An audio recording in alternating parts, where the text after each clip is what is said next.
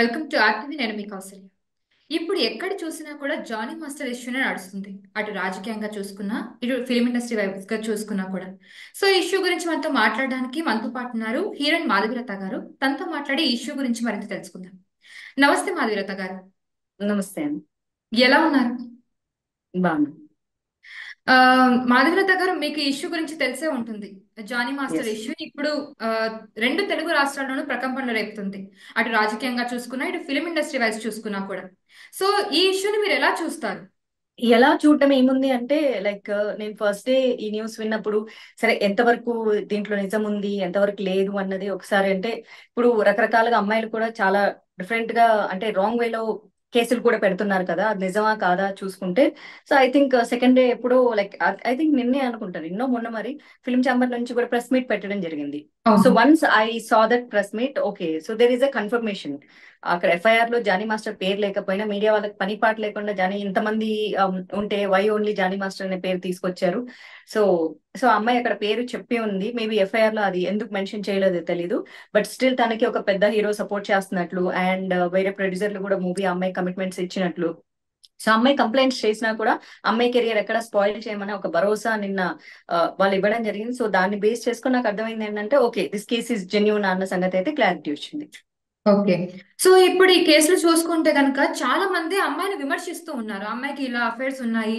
ఇన్ని సంవత్సరాలుగా అమ్మాయి కామ్గా ఉంది ఫోర్ ఫైవ్ ఇయర్స్గా ఇలా జరుగుతున్నా కూడా ఇప్పుడు ఎందుకు బయటికి వచ్చింది ఆ అమ్మాయి? ఆ అమ్మాయికి చాలా మంది అఫైర్స్ ఉన్నాయని చాలా రకాలుగా కమిట్మెంట్స్ ఇచ్చిందని ఇప్పుడు జానీ మాస్టర్ ఆ, ఇలా కావాలని ఇలాంటి అలిగేషన్స్ చేస్తుందని చెప్పి కూడా చాలా మాటలు నడుస్తూ ఉన్నాయి. సో దీన్ని ఎలా అదే మా చూడాలంటారు? సో మనకు సొసైటీలో అంటూ ఉంటారు. If a woman goes she's a slut if a man goes he's a stud so end of the day అతను ఏం చేసినా చెల్లుతుంది. ఎందుకంటే మగాడు కాబట్టి. అదే ఆడపిల్ల అనుకో ఫస్ట్ ఇష్టపడి వెళ్ళింది కదా కాంప్రమైజ్ ఒప్పుకుంది కదా విత్ కన్సెంట్తో వెళ్ళింది కదా నచ్చే చేసింది కదా ఇన్ని సంవత్సరాలు ఎందుకు నోరు మూసుకుంది ఇన్ని సంవత్సరాలు కంఫర్ట్ ఉంది బట్టే కదా. సో దీనికి నేను నిన్నటి నుంచి చెప్తూ ఉన్నాను. వైఫ్ అయినంత మాత్రాన హస్బెండ్తో హస్బెండ్కి నచ్చిన సమయంలో ఉండాలని రూల్ ఏం లేదు. ఆ ఎగ్జాక్ట్లీ ఆ అమ్మాయికి ఒక ఆలోచన ఉంది. ఆ అమ్మాయి శరీరం దానికి కోఆపరేట్ చేయాలి అనుకుంటేనే కోఆపరేట్ చేస్తుంది. నువ్వు నా పెళ్ళాం కదా నాకు మూడు వచ్చినప్పుడంతా నా దగ్గరికి రా అంటే అవ్వదు. వైఫ్ అయినా విత్ కన్సెంట్తో సహా వెళ్ళాల్సిందే. ఇప్పుడు ఆ అమ్మాయికి సరే అది అవసరము. ఓకే సినిమా ఇండస్ట్రీలో ఆ అమ్మాయి సెవెంటీన్ ఇయర్స్ ఉన్నప్పటి నుంచి అంటే టీనేజ్ టీనేజ్ మైనర్ ఉన్నప్పటి నుంచి. Yes a seventeen eighteen nineteen ఇంకా టీనేజ్ ఇంకా త్రీ ఇయర్స్ ఉండింది అమ్మాయికి. సో మామూలుగా పాతికేళ్ళ ముప్పై ఏళ్ళ వయసులోనే సహజంగా మగవాడు మాట్లాడే మాటలకు అతని మాయ మాటలకు అమ్మాయి మురిసిపోవడము మాయలో పడిపోవడం కామన్ నీకు అది చూపిస్తా ఇది చూపిస్తా అని అరచేతిలో స్వర్గం చూపిస్తే క్వైట్ నాచురల్గా నమ్ముతుంది. నేను అందరిలాంటి మగాన్ని కాదు నేను చాలా మంచివాణి అనగానే అమ్మాయి నమ్మేస్తుంది. సరే అబ్బాయిలందరూ చెడ్డోళ్ళు అంటే ఐమ్ నాట్ సేయింగ్ ఖచ్చితంగా ఇందులో కూడా యూనో మనకు ఒక పర్సంటేజ్ ఉంటుంది. మనం ఇక్కడ మాట్లాడుతుంది వచ్చేసేసి నమ్మే అమ్మాయిల గురించి చెప్తున్నా నేను. సో అమ్మాయిలు నమ్ముతారు అబ్బాయిలు నమ్మిస్తారు. సో అమ్మాయికి నీ కెరీర్ అలా ఉంటుంది ఇలా ఉంటుంది అని చెప్పేసి నమ్మించుండొచ్చు. సినిమా ఇండస్ట్రీలో అది క్వైట్ న్యాచురల్గా జరిగే విషయమే. అదేం పెద్ద వింతేం కాదు. సో ఆ అమ్మాయి కూడా ఓకే అసిస్టెంట్ కొరియోగ్రాఫర్ అవ్వచ్చు తర్వాత కొరియోగ్రాఫర్ అవ్వచ్చు. చాలా బాగుంటుంది. మేబీ నన్ను చాలా బాగా చూసుకుంటారేమో అని చెప్పేసి యాక్సెప్ట్ చేసి ఉండొచ్చు. కాదని ఎవరు అంటున్నారు? అమ్మాయి డినై ఏం చేయట్లేదు కదా? అమ్మాయి అసలు డినై చేయట్లేదు ఆ విషయాన్ని. And at the same time religious aspect కూడా ఉంది. అమ్మాయిని మళ్ళీ వాళ్ళ ఇంట్లో వాళ్ళ వైఫ్ తెలిసేలాగా అమ్మాయిని పెళ్ళి చేసుకోవాలని లవ్ జిహాద్ చేయాలని ఎగ్జాక్ట్లీ ఎగ్జాక్ట్లీ ఇప్పుడు ఈ ఇష్యూ లవ్ జిహాద్ వైపు కూడా నడుస్తుంది. ఆ కోణంలోనే దర్యాప్తు కానివ్వండి ఈ కోణంలో అందరూ మాట్లాడుకుంటూ ఉన్నారు. ఎందుకంటే అమ్మాయిని మతం మార్చుకోవాలని పెళ్ళి చేసుకుంటానని చెప్పి వేధించడం తను వేధించడం కాకుండా తన మనుషులతో కూడా వేధించడం అనేది జరుగుతుందని.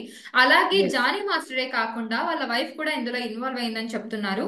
సో రైట్ వాళ్ళ వైఫ్ యా వాళ్ళ వైఫ్ ఏమో ఒక వైపు మాట్లాడుతూ చెప్తుంది మా ఆయన చాలా మంచి వాళ్ళు అసలు ఆయనకి జాతీయ అవార్డు రావడం వల్లనే ఇలా చాలా మంది అలిగేషన్స్ చేస్తూ ఉన్నారు. కొంతమంది తెలియని వాళ్ళు కావాలని ఇలా అలిగేషన్స్ చేస్తున్నారని కూడా ఆవిడ ఆరోపించడం అయితే జరుగుతుంది. అసలు దీంట్లో ఎంతవరకు ఉమ్. నిజం ఉంది అని అనుకోవచ్చు మనం. అదే మా స్టార్టింగ్ స్టార్టింగ్లో అలిగేషన్స్ అనే అనుకున్నాము. బట్ వచ్చేసేసి మరి ఫిల్మ్ ఛాంబర్ నుంచి అంత కాన్ఫిడెంట్గా అమ్మాయి కెరియర్ నాశనం అయిపోకుండా మేము చూసుకుంటామని ఎలా భరోసా ఎందుకు ఇచ్చారు?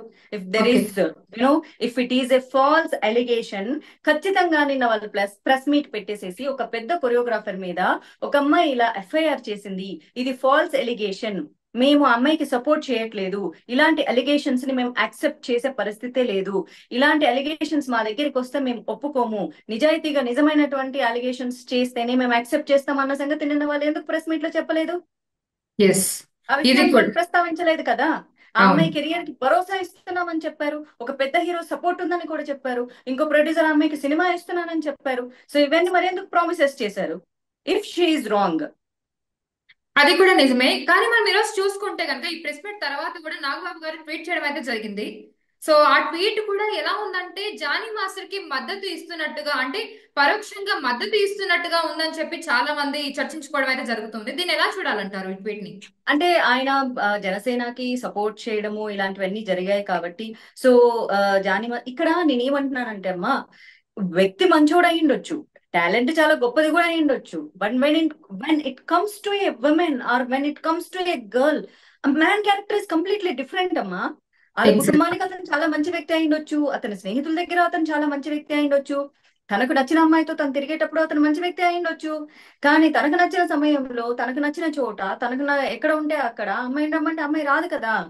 అవును. ఎందుకు అమ్మాయిలు తిరగబడతారంటే అందరూ తిరగబడే నేచర్ ఉండదు. వాళ్ళ అవసరాలకు వాళ్ళ కుటుంబం విషయాలు వాళ్ళ కుటుంబ అవసరాలు అవ్వచ్చు ఆ అమ్మాయి అవసరాలు అవ్వచ్చు ఆ అమ్మాయి ఐడెంటిటీ అవ్వచ్చు ఆ అమ్మాయికి జీవితంలో ఎదగాలని అవ్వచ్చు. సరే అమ్మాయి ఒప్పుకుంది అనుకో ఇష్టపడే ఒప్పు ఇష్టపడి ఒప్పుకుందా ఇష్టపడకపోకుండా ఒప్పుకుందా కాంప్రమైజ్ అయ్యి ఒప్పుకుందా విత్ కన్సెంట్ ఇదంతా వదిలేస్తే ఆ అమ్మాయి కూడా మనసు ఉంటుంది. ఆ అమ్మాయి శరీరము అతను కోరుకున్నప్పుడంతా సహకరించాల్సిన అవసరం లేదు. నువ్వు హోటల్ రూమ్కి రా నువ్వు క్యారవేన్కి రా నువ్వు ఇంకొక చోటికి రా అంటే అలా కుదరదు కదా. ఆమెకి అమ్మాయికి ఈ రోజు ఇంట్రెస్ట్ ఉండొచ్చు రేపు ఇంట్రెస్ట్ లేకపోవచ్చు. ఇక్కడ మనం మన మనుషులం మనం చట్టాలు కూడా పెట్టుకున్నాం. సొంత భార్యకైనా తన మనసుకు ఇష్టం లేకపోతే ముట్టుకోకూడదు. అది రేప్ కిందే కన్సిడర్ చేయబడుతుంది. సో విత్ కన్సెంట్ కదా యాక్సెప్ట్ చేసింది కదా ఈ అమ్మాయి కంఫర్ట్ ఉండింది కదా కంఫర్ట్ తోనే పోయింది కదా సుఖపడింది కదా అంటే అరే అమ్మాయికి నచ్చినప్పుడు సుఖపడుతుంది అబ్బా అమ్మాయికి రైట్ లేదా? మరి ఇప్పుడు ఎందుకు కేసు పెడుతుందంటే ఎస్ ఆ అమ్మాయిని ఎప్పుడైతే మానసికంగా అబ్యూస్ చేయబడుతుందో అంటే నువ్వు నా దగ్గరికి రా పొద్దున్న రా మధ్యాహ్నం రా సాయంత్రం రా అక్కడికి రా ఇక్కడికి రా వాడి దగ్గరికి వెళ్ళి వీడి దగ్గరికి వెళ్ళి అంటే తనకి తనకి ఇష్ట ఇష్టాలు ఉండవా? నేను నిన్ను నమ్ముకున్నాను నువ్వు నాకు కెరీర్ ఇస్తావు అనుకున్నావు నువ్వు నేను నీతోనే ఉన్నాను మళ్ళీ నువ్వేంటి ఇంతమందితో చెప్తున్నావు ఇన్నిసార్లు చెప్తున్నావు అన్నప్పుడు ఆమె మనసు విరిగిపోతుంది కదా. ఎన్ని రోజులని భరిస్తుంది? ఈ కాలంలో ఎందుకు ఆలోచించకూడదు? కానీ చాలా మంది అసలు ఈ ఆస్పెక్ట్లోనే ఆలోచించరు. అసలు ఒక అమ్మాయి కన్సెంట్ లేకుండా అమ్మాయిని టచ్ చేయకూడదు అనే విషయం కూడా చాలా మందికి తెలియదు. అంటే దీని గురించి అవేర్నెస్ కోసం అనే చాలా మంది మాట్లాడుతూ ఉన్నారు. పెద్దవాళ్ళు మాట్లాడుతున్నారు సెలబ్రిటీస్ మాట్లాడుతూ ఉన్నారు. బట్ స్టిల్ జనాలకి అది అర్థం కావట్లేదు కావట్లేదు. కింద కమెంట్స్లో మనం చూడొచ్చు ఆ అమ్మాయి ఎంత ఘోరంగా అబ్యూస్ చేస్తున్నారు. ఆ మాటలతో ఎంత అబ్యూస్ చేస్తున్నారని. అమ్మాయి ఏం చేసినా కూడా డ్రెస్సింగ్ దగ్గర నుంచి స్టార్ట్ చేస్తారు. మాట్లాడడం సో ఈ అమ్మాయి విషయంలో కూడా అదే జరుగుతుంది అనిపిస్తుంది సోషల్ మీడియాలో కామెంట్స్ చేసే వాళ్ళ నేచర్ బేసిక్ ఎలా ఉంటదంటే వీళ్ళందరూ ఒక ఒక టీనేజ్కి సంబంధించిన ఏజ్ వాళ్ళే ఉంటారు. And more of well educated వాళ్ళు ఉండరు. అండ్ ఫో కెరియర్ మీద ఫోకస్ ఉన్న వాళ్ళు ఉండరు. ఎందుకంటే అవన్నీ ఉన్న వాళ్ళు ఫేస్బుక్లోకి యూట్యూబ్లోకి వచ్చి కామెంట్లు చేయరు. That is simple logic. వీటి మీద అవగాహన లేక అంటే వాళ్ళు ఎలా పెరిగింటారంటే వాళ్ళ తల్లిదండ్రులు వాళ్ళ అమ్మకి ఇష్టం ఉన్నా లేకపోయినా వాళ్ళ నాన్న పిలిచి దగ్గరికి లాక్కొని వాడుకోవడం భర్త అంటే పిలిచినంగానే వెళ్ళడం మన సంప్రదాయాలు మన ఇళ్ళలో అట్లే నేర్పిస్తారు. భర్త భర్తని నువ్వు సంతోషంగా ఉంచడమే నీ నీ యొక్క జీవిత లక్ష్యం అన్నట్లుగా నువ్వు అతను పిలిచినప్పుడల్లా వెళ్ళు అంటున్నారు. ఇప్పుడిప్పుడు అమ్మాయిలు చదువుకొని ఓకే నాకు మనసు ఉంది ఓకే నాకు ఒక ప్రైవసీ కావాలి నా శరీరానికి కూడా ఒక టైమింగ్ కావాలి అని చెప్పేసి తనని తాను డిఫైన్ చేసుకోగలుగుతుంది. డిఫైన్ చేసుకోగలిగే సిచ్యువేషన్ని సమాజంలో మగాడు యాక్సెప్ట్ చేయలేకపోతున్నాడు. ఒక అమ్మాయిని ఒక అమ్మాయిలాగా ఒక స్లేవ్ లా చూసుకుంటున్నారే తప్ప ఎవరు కూడా ఒక ఇండివిజువల్గా ఒక అబ్బాయి ఎలాగైతే ఇండివిజువల్ అమ్మాయి కూడా ఇండివిజువల్ అనే సంగతి మర్చిపోతున్నారు జనాలు చాలా వరకు. She's a so property she is a property exact is not a human being so తనకి నచ్చినప్పుడు అతనికి నచ్చితేనే ముట్టుకోవాలి. సరే బా నేను నేను even I say if she's a prostitute when she's selling her body ఆమెకి నచ్చితేనే ముట్టుకోవాలి. ఆమెకి నచ్చితే నీకు ముట్టుకునే హక్కు లేదు. సో ఇక్కడ విత్ కన్సెంటా వితౌట్ కన్సెంట్ విత్ కన్సెంటే వెళ్ళింది. బట్ ఎప్పుడు పడితే అప్పుడు ఎక్కడ పడితే అక్కడ ఎలా పడితే అలా అంటే ఇట్ ఈస్ నాట్ పాసిబుల్ కదా. ఎగ్జాక్ట్లీ సో ఇంకా ఈ విషయంలో ఎలాంటి ఆ, ఆరోపణలు వస్తున్నాయంటే ఇండస్ట్రీ పెద్దలు కూడా జానీ మాస్టర్కి హెల్ప్ చేస్తున్నారు అనే విధంగా కూడా చర్చించుకుంటున్నారు బయట జనాలు. సో దీన్ని ఎలా చూడాలంటారు? నిజంగానే దీని వెనక ఇంకా పెద్దవాళ్ళు ఇన్వాల్వ్ అయ్యి ఉంటారంటారా? అంటే జానీ మాస్టర్ పేరు ఒక్కటే వినిపిస్తుంది ప్రధానంగా చూసుకుంటే. కానీ దీని వెనక ఇంకా ఎవరైనా ఉండే అవకాశం కనిపిస్తుందా మనకి? అంటే అలా ఉండదమ్మా. దొరికినోడు దొంగ దొరకకపోతే దొర simple. Logic. At the same time so అతనికి ఇండస్ట్రీలో మంచి పేరు ఉంది మంచి choreographer and talented choreographer and ఆ అమ్మాయి మధ్య అతని మధ్య ఏం జరిగిందో ఫస్ట్ స్టార్టింగ్లో అండర్స్టాండింగ్ ఉండి ఉండి ఉండొచ్చు సో ఆ అమ్మాయి నమ్మించి ఉండొచ్చు. ఎందుకంటే పెళ్ళి చేసుకోమని అంత దాకా వెళ్ళారు అంటే ఖచ్చితంగా ఓకే వాళ్ళ వాళ్ళ ఇస్లాం ప్రకారం నలుగురు నుంచి ఏడు మంది భార్యలను చేసుకోవచ్చు. ఎందుకంటే ఇస్లాం చట్టం వేరు హిందూ మ్యారేజ్ యాక్ట్ వేరు ఇస్లాం మ్యారేజ్ యాక్ట్ వేరు. సో మన ఇండియాలో వన్ నేషన్ ఉంది కానీ వన్ లా అయితే లేదు. వాళ్ళకు ఒక లా ఉంది మనకు ఒక లా ఉంది. So they can get married అన్నమాట. దానికి వైఫ్లు యాక్సెప్ట్ చేస్తారు. సో ఫోర్ టు సెవెన్ వాళ్ళ వైఫ్ కూడా ఒక హిందూ తను క్రిస్టియన్ సారీ ముస్లిం గా కన్వర్ట్ చేసుకొని మ్యారేజ్ చేసుకోవడం జరిగింది.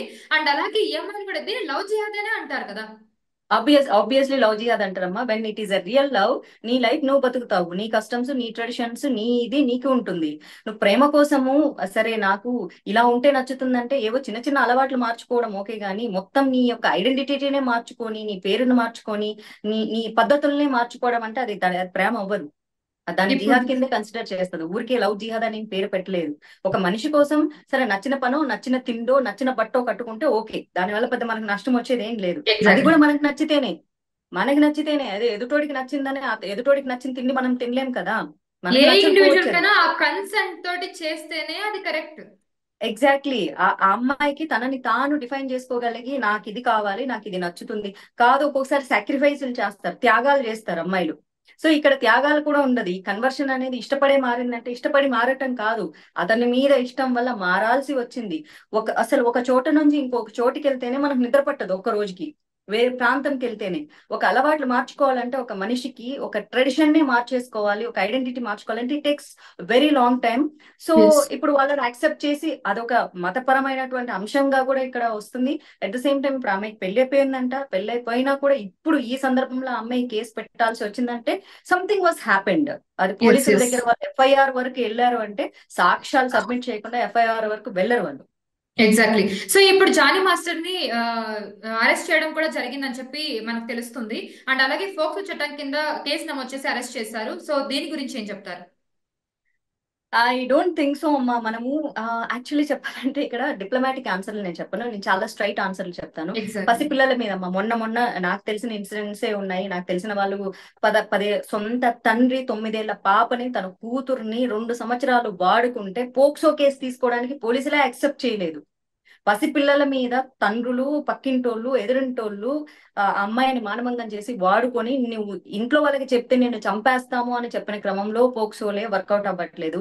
అలాంటిది పదిహేడేళ్ళ పిల్ల మీద పోక్సో పెట్టినా సరే అది ఏం వర్కౌట్ అవ్వదమ్మా. మనం మనం ఆనెస్ట్గా మాట్లాడుకుందాం. సో నిజంగా జానీ మాస్టర్ తప్పు చేస్తుంటే కనుక ఆయనకి ఎలాంటి శిక్ష విధిస్తే కరెక్ట్ అని అంటారు? అవ్వదమ్మా చెప్తున్నాను కదా పసి పసి పిల్లల మీద మానభంగం చేస్తే ఆ పసిపిల్లకి సంబంధం లేకుండా ఆరేళ్ళ పిల్ల ఏడేళ్ళ పిల్ల ఎనిమిదేళ్ళ పిల్లను వాడుకుంటేనే చట్టాలేమీ సహకరించట్లేదు ఇక్కడ. అలాంటిది పదిహేడేళ్ళ పిల్లని విత్ కన్సెంట్తో వాడుకుంటే ఇక్కడ శిక్షలు పడేంత లేవమ్మా ఏవి జరగవు. మనకి చట్టాలు చాలా గొప్పవి కానీ అవి అమలులో ఉండవు విచ్ ఈస్ ఫ్యాక్ట్ సో ఇండస్ట్రీలో ఇన్ కేస్ ప్రూవ్ అయ్యి మనకి ఏంటంటే చట్టాలు మన పోలీస్ కా హాత్ బహుత్ లంబే హోతే హే గానీ ఆ లంబే ఎలా ఉంటుందంటే పెద్దోళ్ళకే ఉంటాయి. సో ఇతను అవ్వచ్చు ఇంకొకళ్ళు అవ్వచ్చు. సో ఎవరికైనా వీళ్ళు సెలబ్రిటీ స్టేటస్లో ఉన్నారు కాబట్టి ఒక నాలుగు రోజులు జైల్లో వేసిన విఐపి ట్రీట్మెంట్లో ఉంటాయి. కానీ ఏ శిక్షలు పడవమ్మా. ఇది కూడా అంతే అంటారా? సో జస్ట్ ఒకసారి మనం మాట్లాడుకొని ఇంకొద్దు ఇంకా ఇదంతా ఇంకొద్ది రోజులకి ఫేడ్ అవుట్ అయిపోయే సిచ్యువేషన్ ఏనా ఇదంతా కూడా? డెఫినెట్గా అమ్మా. ఇప్పుడు ఇష్యూ జరిగింది కాబట్టి మనం కూర్చొని మాట్లాడుకుంటున్నాం. చట్టాలు ఈ చట్టాలు ఉన్నాయి ఆ చట్టాలు ఉన్నాయి ఈ ఆర్టికల్స్ ఉంది ఇంకొక ఆర్టికల్స్ ఉంది భారత్ సంవిధానం ఉంది ఇవన్నీ చాలా ఉన్నాయి. చాలా వచ్చేసాయి. పోక్సోలో ఇప్పు- ఇప్పుడు చెప్పాలి అంటే చిన్నపిల్లల మీద మానభంగం జరిగినా చిన్నపిల్లల మీద వాళ్ళకి అబ్యూస్ జరిగినా చాలా చాలా పెద్ద చట్ట చట్టాలు ఇప్పుడు చేశారు భారత న్యాయ సంవిధానంలో కొత్తగా. బట్ బిఎన్ఎస్ ఎంత చేసినప్పటికీ కూడా రీసెంట్గా మన ఆంధ్రప్రదేశ్లో ఒక చిన్న పసిపిల్లను రేప్ చేసి టీనేజర్స్ చంపేసేస్తే ఇంతవరకు కొత్తగా వచ్చిన ప్రభుత్వమే ఏమీ చేయలేకపోయింది. ఇంతవరకు వాళ్ళని పట్టుకోలేదు. పేదలకు శిక్షలు వేయలేదు. ఉయ్యాల్లో ఉన్న పసిబిడ్డను ఒక ముసలి తాత చంపేస్తే ఆ మానవంగం చేస్తే అన్ని కూడా ఏమీ చేయలేకపోయింది. ఆ రేంజ్లో మన చట్టాలను ఉపయోగించుకుంటుంటే పెద్ద పెద్ద వాళ్ళ జోలికి చట్టాలు వస్తాయమ్మా. అవి రావు. మనం మీరు ఒక నాలుగు రోజులు కూర్చొని ఏదో మన గొంతు శోషికి మాట్లాడుకోవడం తప్ప ఏం ఉండదు. సో ఇప్పుడు ఫిలిం ఇండస్ట్రీలో కూడా మీరు వర్క్ చేయడం జరిగింది. సో ఇలాంటి కమిట్మెంట్స్ వీటి గురించి మీరు చాలా సందర్భాల్లో మాట్లాడడం జరిగింది. సో ఇలాంటివి కొనసాగుతూనే ఉంటాయి. సో చాలా మంది వాళ్ళ కన్సెంట్ తోటి వెళ్ళినప్పటికీ కూడా సో ఇలాంటి సిచ్యువేషన్స్ జరుగుతూనే ఉన్నాయి రిపీటెడ్గా. సో ఇలా జరగకుండా ఉండాలంటే ఎలాంటి చర్యలు తీసుకోవాలి ఇండస్ట్రీ పరంగా? అమ్మ మనము ఏదైనా సరే డిప్లొమాటిక్ గానో ఆప్టిమిస్టిక్ గానో మాట్లాడాలంటే చర్యలు తీసుకునేది ఏమి ఉండదమ్మా. ఎండ్ ఆఫ్ ద డే ఒక అమ్మాయి తనకు మానసికంగా లేకపోతే శారీరకంగా కష్టం కలిగి కంప్లైంట్ చెప్పుకుంటే వెళ్ళి పడుకుంటప్పుడు బాగానే పడుకున్నావు కదా ఇప్పుడు ఏంటి అని. కానీ ఆ అమ్మాయి తన అవకాశాల కోసం తన అవసరాల కోసం పడుకుంటుంది. ఆ పని తప్ప ఇంకే పని చేయలేరని చాలా మంది అంటారు. ఆ అమ్మాయికి ఆ పని ఇష్టం. మీరు ఇప్పుడు హోస్టింగ్ చేస్తారు? మీకు హోస్టింగ్ ఇష్టం. నేను పోయేసేసి పోయి కూలి పని చేసుకొని నాలుగు రూపాయలు సంపాదించుకోవచ్చు కదా అంటే అది ఎలా కుదురుతుంది? నీకు ఇష్టమైన పని నువ్వు చేస్తున్నావు నాకు ఇష్టమైన పని నేను చేస్తున్నా. మనకి ఇష్టమైన పనిలో ప్రతి చోట ప్రతి ప్రతి దగ్గర ఉండేటటువంటి కష్టం కష్టం ఉంటుంది. ఆ కష్టాన్ని దాటుకొని వెళ్ళాలి. కొంతమంది కష్టాన్ని దాటుకొని వెళ్తారు. కొంతమంది కాంప్రమైజ్ అయ్యి వెళ్తారు. అవన్నీ తప్పులు వాటిని ఇక్కడ విత్ కన్సెంట్ నేను తప్పు అనేది it's their cup of coffee but నేనేమంటున్నాను అంటే సరే ఆ అమ్మాయి కెరియర్ కోసము తన కాంప్రమైజ్ అయ్యిందా? ఓకే. కానీ అదే కాంప్రమైజ్ అయిన అమ్మాయిని ఆ అమ్మాయి అసహాయతను ఆసరాగా తీసుకుని పదే పదే వాడికి నచ్చిన ప్రతిసారి రమ్మడం అనేది మన అమ్మాయిని మానసికంగాను శారీరకంగాను ఇబ్బంది పెట్టడం కదా. దాని మీదే కదా ఆ అమ్మాయి హర్ట్ అవుతది. నాకంటూ నాకంటూ నా శరీరానికి నాకంటూ నా మనసుకి నాకంటూ నా ఆలోచనకి విలువ లేదా అన్న దగ్గరే కదా అమ్మాయి బాధపడుతుంది. ఎగ్జాక్ట్లీ అమ్మాయి ఫ్రస్ట్రేట్ అవుతుంది. మనం కేరళలో చూసుకుంటే హేమ కమిటీ అనేది ఒకటి అరేంజ్ చేయడం జరిగింది. అలాంటిది మన తెలుగు ఇండస్ట్రీ మన టాలీవుడ్ ఇండస్ట్రీలో కూడా వస్తే బాగుంటుందని మీరు అనుకుంటున్నారా? అలాంటి వర్కౌట్ అవుతాయా practically no no no Hema committee రావడానికి ఏంటంటే ఒక పెద్ద కారణం జరిగింది. సో ఒక యాక్ట్రెస్ మంజు వారియర్ దిలీప్ వాళ్ళిద్దరు వైఫ్ అండ్ హస్బెండ్ విడిపోవడానికి కారణమైందని. సో ఆ అమ్మాయి మీద సెక్షువల్ అసాల్ట్ చేసి ఆ అమ్మాయిని చంపించే ప్రయత్నం చేయడము. సో వాళ్ళందరూ అక్కడ యాక్ట్రెస్లు అందరూ కలిసేసి రిటైర్డ్ జడ్జి అయినటువంటి హేమ గారి దగ్గరికి వెళ్ళడం సో ఆవిడ ఒక కమిషన్ ఏర్పాటు చేయడం. విత్ ప్రూఫ్స్తో మొన్న ప్రజెంట్ చేయడం జరిగింది కానీ అమ్మాని డిజాల్వ్ చేశారు కానీ ఇంకేమైనా చేయగలిగారా? ఏమీ చేయలేకపోయారు. పైగా కేరళ వచ్చేసి చాలా గర్ల్స్ ఉమెన్ డామినేటెడ్ స్టేట్ అది. బట్ అలాంటి చోట కూడా అమ్మాయిలందరూ కలిసినా సరే ఒక రిటైర్డ్ జడ్జి కలిసినా సరే నిజంగా ఎవరి మీద యాక్షన్ తీసుకోగలిగారా ఈ రోజు వరకు? ఎవరి మీద యాక్షన్ తీసుకోలేరు. కాకపోతే నాలుగు రోజులు మీడియాలో మాట్లాడుకోవడానికి పనికొస్తుంది. ఓ నాలుగు రోజులు ఎవరైనా వాట్సాప్లు చేయటానికో ఫోన్ కాల్స్ మాట్లాడడానికో ఓ నాలుగు రోజులు వెనకాడతారు. అంతే. టెంపరీ యాక్షన్స్ అన్నమాట. సో అమ్మాయికి ఏ అన్యాయం జరిగినా కూడా జస్ట్ మనం మాట్లాడుకోవడానికి తప్ప దానికి జరిగే న్యాయం ఏమి ఉండవంట అయితే దీన్ని బట్టి చూస్తే. ఏ రకంగా న్యాయం చేస్తారమ్మా? సమాజం అనేది ఎండ్ ఆఫ్ ద డే అమ్మాయినే నిందిస్తుంది కదా. నువ్వే పోకుండా ఉండింటే నువ్వే కాంప్రమైజ్ అవ్వకుండా ఉండింటే నువ్వే అసలు వాడితో తిరగకుండా ఉండింటే బాగుండేది కదా. పోనీ నువ్వు తిరిగినట్లు సాక్ష్యాలు ఏమన్నా ఎవరన్నా నువ్వు తిరిగితేనో పడుకుంటేనో వెళ్ళి సాక్ష్యాలు తీసుకుంటారమ్మా ప్రతి నిమిషము? ఇంకోటి వచ్చేసి తిరిగిన రోజులు తిరిగి నీ కంఫర్ట్ బాగానే తిరిగి నువ్వు సుఖపడేసేసి నువ్వేదో డబ్బులు ఆశించావు నువ్వేదో ఇంకోటి ఆశించావని ఏదో ఒకటి ఆశించకుండా ఎందుకు పోతుంది? ఆడవన్న బాయ్ ఫ్రెండ్ హస్బెండా హస్బెండ్ ఇప్పుడు బాయ్ ఫ్రెండ్ అనేవాడిని పెళ్ళి చేసుకోవాలని ఆశపడుతుంది. అది కూడా ఆశే కదా? హస్బెండ్ అనేవాడిని తను బాగా చూసుకోవాలని ఆశపడుతుంది. అది కూడా ఆశే కదా? ఎక్స్పెక్టేషన్స్ లేకుండా ఎవరు ఎవరితో ఉండరు. అమ్మాయి అయినా అబ్బాయి అయినా. ఎండ్ ఆఫ్ ద డే మనిషి ఒక నీట్ మీదే బతుకుతారు. ఇక్కడ కూడా అంతే. నువ్వు కెరీర్ ఇస్తావా? ఓకే ఆ కెరీర్తో నాకేం వస్తుంది? అన్న దాని మీదే కదా ఎమోషన్స్ ఇన్వెస్ట్ అవుతాయి. ఆ ఎమోషన్స్ హర్ట్ అయినప్పుడు అవి రిపీటెడ్లీ హర్ట్ అయినప్పుడే కేసుల వరకు వెళ్తారు. సో ఆడపిల్లలు అనే వాళ్ళు కాంప్రమైజ్ అవుతూనే ఉంటారు ప్రతి నిమిషం సో ఇలా కాంప్రమైజ్ అవుతూనే ఉండాలి. ఇలా మనం కోల్కతా ఇష్యూలో కూడా చూసుకోవచ్చు. అసలు ఇప్పుడు ఆ కేసు ఏమైందో కూడా ఎవరికి అర్థం కావట్లేదు. కొద్ది రోజులు బాగా టూ వీక్స్ వరకు ప్రతి ఒక్కళ్ళు స్టేటస్ పెట్టారు ఫార్వర్డ్ చేశారు. సో ఇంకా అలానే ఏ అమ్మాయి మీద ఎలాంటి అఘాయిత్యాలు జరిగినా కూడా మనం ఫార్వర్డ్ చేసుకోవడం వాటి గురించి మాట్లాడుకోవడమే జరుగుతుంది. కానీ వాటికి న్యాయం జరుగుతుంది అనేది మాత్రం అదొక మిస్టరీనే అనిపిస్తుంది. ఇవన్నీ చూస్తుంటే కనుక. న్యాయం చాలా దూరమైందమ్మా. నిజం చెప్పాలంటే న్యాయం డబ్బులున్న వాళ్ళకి చాలా దగ్గరైంది. న్యాయం చాలా గొప్పది. మన న్యాయ వ్యవస్థ ప్రపంచ దేశాల్లో కల్లా చాలా పెద్ద గొప్ప న్యాయ వ్యవస్థ మనది. కాకపోతే శిక్షలు పడ్డానికే చాలా నిర్భయ అసలు. ప్రపంచ దేశాలని సైతం ఊపేసి భారతదేశంలో ప్రతి ఇంట్లో నిద్ర లేకుండా చేసిన నిర్భయ కేసులోనే ఎనిమిదేళ్ళు పట్టిందమ్మా శిక్ష పడ్డానికి. అందులోనూ ఒక టీనేజర్ ఉన్నాడని చెప్పేసి మానవ హక్కుల సంఘం వాళ్ళు వచ్చేసి ఒక టీనేజర్ని వాడిని అసలు జువనైన్ హోమ్లో పెట్టాలని చెప్పేసేసి ఆ అమ్మాయి ప్రైవేట్ పార్ట్స్లో రాడ్లు పెట్టి దింపినప్పుడు గుర్తురాని మానవత్వము ఒక పదిహేడేళ్ళ వాడికి ఉరిశిక్ష వేస్తానంటే గుర్తొచ్చింది మానవతావాదులకి. ఎగ్జాక్ట్లీ చట్టాలు ఎంత బలంగా ఉన్నా సరే శిక్షలు పడేసరికి ఎనిమిదేళ్ళ ఎనిమిదేళ్ళకు ఎవరి జీవితాలు ఎన్ని మారిపోయింటే. సరే ఇప్పుడు ఒక ఎనిమిదేళ్ళ పసిపిల్ల మీద మానభంగం జరిగింది. ఆ వాళ్ళకి శిక్షలు పడేసరికి ఎనిమిదేళ్ళు పదేళ్ళు పడితే అమ్మాయి వయసు ఎంత అవుతుంది అప్పుడు? ఆ అమ్మాయి టీనేజ్కి వచ్చి ఉంటది. ఆ పసితనంలో గాయాలన్నీ మర్చిపోతూ మర్చిపోతూ తను బాగా ఒక ఎంగేజ్కి వచ్చేసేసి మర్చిపోయే క్రమంలో మళ్ళీ ఆ అమ్మాయికి ఆ ఇన్సిడెంట్ ఎగ్జాక్ట్లీ సో ఇప్పుడు మనం ఈ ఇష్యూ తీసుకుంటే గనక అసలు ఈ ఇష్యూలో ఎలా జరిగితే ఈ అమ్మాయికి బాధితురాలకి న్యాయం జరుగుతుందని మీరు అనుకుంటున్నారు? ఆ అమ్మాయి ఏం కోరుకుంటుంది అన్న దాని మీద మా అమ్మాయికి ఇప్పుడు కేసు పెట్టే ముందు అమ్మాయికి ఒకటి ఉంటుంది కదా నన్ను డిస్టర్బ్ చేయకూడదు నన్ను రిజెక్ట్ చేయకూడదు నా నా కెరియర్ని నాశనం ఏవో ఉంటాయి కదా అమ్మాయికి ఉంటాయి కదా. బాధితురాలు ఏం ఎక్స్పెక్ట్ చేస్తుంది అన్న దాని మీదే కదా ఇప్పుడు కేసు తీసుకుని నీకు- కావాలమ్మా అన్న దాని మీదే ఉంటుంది. ఇప్పుడు మీరు కేసు పెట్టేటప్పుడు మీరేం ఆశపడుతున్నారు? శిక్షించాలని కోరుకుంటున్నారా? అసలు ఇలాంటి వాళ్ళని రియూనట్ చేయాలని కోరుకుంటున్నారా? ఇండస్ట్రీ నుంచి తొలగించాలని కోరుకుంటున్నారా? రెడ్ కార్డ్ ఇచ్చేసేయాలని కోరుకుంటున్నారా? సో ప్రస్తుతానికి అయితే తాత్కాలికంగా అయితే సస్పెండ్ చేయడం జరిగింది. అదే మరి ఎందుకు సస్పెండ్ చేశారు? చెప్పండి. ఉత్త పుణ్యానికి ఒక అమ్మాయి వచ్చేసి అలిగేషన్ చేసేసి తను నన్ను వాడేసుకున్నాడు నన్ను హర్ట్ చేస్తున్నాడు అంటే సస్పెండ్ చేసేస్తారమ్మా సాక్ష్యాలు లేకుండా అందులోని సినిమా ఇండస్ట్రీలో? లేదు లేదు. అక్కడే ఇది తెలుస్తుంది చాలా కదా. పెద్ద ఇష్యూ ఇప్పుడు ఫిలిం ఇండస్ట్రీలో చూసుకుంటే కనుక మీరు ఇందాక ఎగ్జాక్ట్లీ చెప్పినట్టుగా నేను కూడా నేను కూడా మొదటి రెండు రోజులు సైలెంట్ గానే ఉన్నానమ్మా. ఎందుకంటే ఇది నిజమైన కేసా? లేకపోతే అలిగేషనా అతను జనసేనలో ఉన్నాడు. లేకపోతే ఎవరైనా పెట్టించారా? ఫోర్స్ చేసి పెట్టించారా? వైసీపీ లీడర్ల గురించి వాళ్ళ బట్టలు ఇప్పే వ్యవహారాల గురించి టీవీ ఛానల్స్లో మాట్లాడుతున్నారు కాబట్టి వాళ్ళు ఏమైనా రివర్స్లో పెట్టించారా? అని రెండు రోజులు మౌనంగా ఉన్నాయి ఎప్పుడైతే ఫిలిం ఛాంబర్లో వాళ్ళు ప్రెస్ మీట్ పెట్టారో అప్పుడే అర్థమైంది. ఫిలిం ఛాంబర్ అనే వాళ్ళు వాళ్ళు వచ్చి కూర్చొని ప్రెస్ మీట్ పెట్టారంటే వాళ్ళు ఎవిడెన్స్ చాలా స్ట్రాంగ్గా ఉండకపోతే వాళ్ళు ముందుకు వచ్చి మాట్లాడరు. ఎందుకంటే అందరు పబ్లిక్ ఫిగర్స్ కాబట్టి సినిమా ఇండస్ట్రీ మీద బ్యాడ్ నేమ్ రాకూడదు కాబట్టి చాలా ఆలోచించి నిర్ణయం తీసుకుంటారు. అండ్ సస్పెండ్ కూడా చేయడం జరిగింది అంటే అంతో ఎంతో సాక్ష్యాధారాలు లేకపోతే సస్పెన్షన్ ఎలా కుదురుతుంది? సో సమాజంలో ప్రజలు కూడా చూసే వాళ్ళు కూడా ఆలోచించాలి. అరే ఇక్కడ నిజం లేకపోతే ఎందుకు? కానీ ప్రజలందరూ ఎప్పుడు ఒకటే జరిగినప్పుడే రాలేదు ఎందుకు? జరిగినప్పుడే రాలేదు ఎందుకు జరిగిన అందరికీ ధైర్యం ఉంటుందా అమ్మా ఈ కామెంట్ పెట్టేటోడు వాడి అక్కకో వాడి చెల్లెకో ఇలా జరిగితే వాడు జరిగినప్పుడు వెంటనే వచ్చేస్తాడా? అసలు రాడు. ఎవడు రాడు?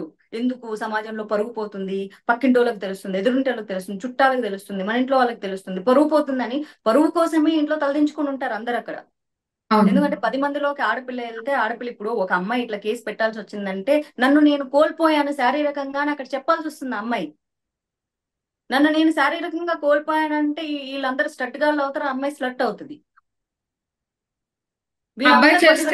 అమ్మాయి ఒక్కతి పతిత అవుతుంది. వాడు ఇక్కడ సమాజంలో ఎప్పుడు అంతే చూడు. పలానా హోటల్లో దొరికిన అమ్మాయి వాడి మొహం మూసేస్తారు. ఇదేమో పతిత ఆడేమో పతిత్తుగాడైపోతాడు అది ఎలా అవుతారో నాకు అర్థం కాదు. ఇది మారేంత వరకు అమ్మాయిలు ఇలాంటి ఫేస్ చేయాల్సిందే అని అనిపిస్తుంది. ఈ ఇష్యూ ఇష్యూ చూస్తే గనక. సో కంప్లీట్గా ఇప్పుడు మనం మాట్లాడుకున్న దాన్ని బట్టి చూస్తే ఖచ్చితంగా ఇందులో హండ్రెడ్ పర్సెంట్ తప్పు అయితే జానీ మాస్టర్ ఉందనేది అర్థమవుతుంది. మీరు మాట్లాడదాన్ని బట్టి చూస్తే. అంతే అంటారా మాధురిత గారు? డెఫినెట్గా ఇప్పుడు ఆ అమ్మాయి చాలా క్లియర్గా చెప్తుంది. తను రకరకాల చోట్ల వాడుకున్నాడు. ఓకే విత్ కన్సెంటే నేను నేను యాక్సెప్ట్ చేస్తా విత్ కన్సెంటే పెళ్ళి కూడా చేసుకుంటా అన్నాడు. ఎందుకంటే వాళ్ళు వాళ్ళు దాని లవ్ జిహాద్ కింద కన్సిడర్ చేసి ముగ్గురినైనా నలుగురినైనా ఎంతమందినైనా చేసుకునే అవకాశం ఉంది కాబట్టి సో అలా చేసుకోవాలనుకున్నారంటే ఆ అమ్మాయి నమ్మింది. కానీ నమ్మిందని చెప్పేసి నా- నాకు నచ్చిన ప్రతిసారి ప్రతి చోటకి రమ్మంటే మానసికంగా అమ్మాయి హర్ట్ అవుతుంది కదా. అందులోంచి తప్పించుకొని మళ్ళీ ఆ అమ్మాయి పెళ్ళి కూడా చేసుకుంది. ఇప్పుడు కూడా మళ్ళీ అమ్మాయిని హరాస్ చేస్తూ ఉంటే ఎన్ని రోజులని భరిస్తుంది ఇప్పుడు పెళ్ళి కాని అమ్మాయి అయితే రేపు పొద్దున్న నాకు పెళ్ళి కాదేమో అనే భయంతో ముందుకు రాదు ఫస్ట్ ఆఫ్ ఆల్ ఇప్పుడు వాళ్ళ హస్బెండ్ సపోర్ట్ చేసి ఉంటాడు. చేసి ఉండింటాడు. డెఫినెట్గా అతను సపోర్ట్ చేశాడు కాబట్టి అమ్మాయి ముందుకు వచ్చింది కానీ పెళ్ళి కాని అమ్మాయి అంత ధైర్యంగా రాగలదా? End of the day cinema ఇండస్ట్రీలో ఉన్నా ఇంకా ఎక్కడన్నా ఇంకొకడన్నా ఐశ్వర్య రాయ్ అయినా పెళ్ళి చేసుకోవాల్సిందే వాళ్ళ పరువు ప్రతిష్టలు కాపాడుకోవాల్సిందే. ఎవరు బయటకు వచ్చి చెప్పుకోవాలని అనుకోరు కదా? ఎగ్జాక్ట్లీ ఇలాంటి ఇష్యూస్ ఫిలిం ఇండస్ట్రీలో కదా అమ్మాయిలు ప్రతి చోట కూడా ఎదుర్కొంటూ ఉన్నారు. సో ఈ ఇష్యూ గురించి మీరు అమ్మాయిలకి ఏం చెప్దాం అనుకుంటున్నారు? సో అమ్మాయిలు ఎలా ఉండాలి? అమ్మ ఈ రోజు అమ్మాయి ఈ రోజుల్లో అమ్మాయిలు చాలా చాలా స్మార్ట్ అమ్మా. ఓకే నేను ఆ అమ్మాయి ఇష్టపడి వెళ్ళిందా నేను నేను ఎప్పుడు అననమ్మా ఆ అమ్మాయి ఇష్టపడి పలానా వాడితో తిరిగిందని నేను అనను. వాళ్ళ అసహాయత కోసం వాళ్ళ అవసరాల కోసం ఎదుటోళ్ళు వాడుకోబడతారు. ఈ అమ్మాయి యాక్సెప్ట్ చేస్తుంది అంటే which is acceptancy it doesn't sense మనస్ఫూర్తిగా మనస వాచ కర్మన అమ్మాయిని అమ్మాయి అప్పగించుకుంటుందని కాదు. నా కెరీర్ బాగుంటుంది. నాకు డబ్బులు వస్తాయి. ఓకే. ఇప్పుడు ఎవడో ఒకరిని ప్రేమిస్తే వాడు కూడా నన్ను వాడుకుంటాడు. ఎండ్ ఆఫ్ ద డే వాడుకొని వాడుకొని వాడు కూడా వదిలేస్తాడు. నువ్వు నచ్చలేదు నీ బిహేవియర్ నచ్చలేదు నీ మాటలు నచ్చలేదని.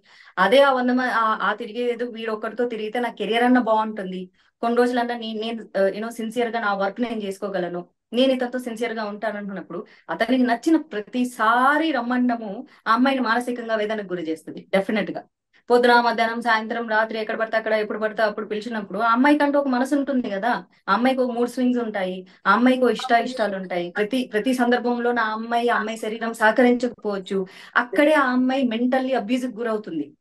నాకంటూ ఒక మనసు ఉంది కదా. నా శరీరాన్ని ఎప్పుడు పడితే నువ్వు అప్పుడు నువ్వు ఆడుకోలేవు కదా అన్నప్పుడే గొడవలు వస్తాయి. అది కాదు అది ఎదుటి వ్యక్తి యాక్సెప్ట్ చెయ్యలేని సిచ్యువేషన్లో అమ్మాయికి ఫ్రస్ట్రేషన్ వస్తుంది. దాన్ని తట్టుకోలేనప్పుడు చాలా మంది అమ్మాయిలు బయటికి రారు గొడవలు అయిపోతూ ఉంటాయి. ఎవరో ఒకళ్ళు అరో బయటికి వస్తారు. సో అప్పుడు ఏమైందంటే ఎండ్ ఆఫ్ ద డే అమ్మాయిని అంటారు తిరిగిన రోజు తిరిగావు కంఫర్ట్ ఉన్నావు సుఖపడ్డావా వాటిని సుఖాలు అనరమ్మా జస్ట్ కళ్ళు మూసుకోవడాలు అంటారు అంతే. That's it yeah thank you Madhavilatha గారు. మీ వ్యూస్ని షేర్ చేసుకున్నందుకు thank you so much so చూస్తారు కదా uh, మాధవిలత గారు ఈ ఇష్యూ మీద జానీ మాస్టర్ ఇష్యూ మీద ఆవిడకున్న వ్యూస్ని మనతో షేర్ చేసుకున్నారు. సో uh, ఈ ఇష్యూని బట్టి అర్థం చేసుకోవాల్సింది ఏంటంటే అమ్మాయి ఇష్టపడి చేసిందా ఇష్టం లేకుండా చేసిందా? అసలు అమ్మాయిని అనడం కన్నా ముందు ఫస్ట్ నో అంటే నో అది ఎవరైనా సరే. సో ఆ కన్సెంట్ అనేది తెలుసుకోవాలి. ఎప్పుడు కూడా ఏ ఇష్యూ జరిగినా కూడా ఓన్లీ అమ్మాయి అనడం అనేది అది కరెక్ట్ కాదని ఆ, మాధవీలత గారు కూడా చెప్పడం జరిగింది. సో ఇది వాటి మన ఇంటర్వ్యూ మళ్ళీ ఇంకొక మంచి ఇంటర్వ్యూతో మళ్ళీ ముందుంటాను. Thank you so much and latest updates కోసం చూస్తూనే ఉండండి. హ్యాపీ మరిన్ని వీడియోస్ కోసం ఛానల్ సబ్స్క్రైబ్ చేయండి. లేటెస్ట్ అప్డేట్స్ కోసం వాట్సాప్ ఛానల్ ఫాలో చేయండి. అండ్ లింక్ డిస్క్రిప్షన్లో ఉంది.